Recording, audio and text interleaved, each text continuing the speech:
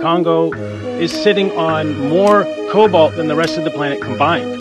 Before anybody knew what was happening, Chinese government, Chinese mining companies took control of almost all the big mines, and the local population dig in absolutely subhuman, gut wrenching conditions for a dollar a day, feeding cobalt up the supply chain.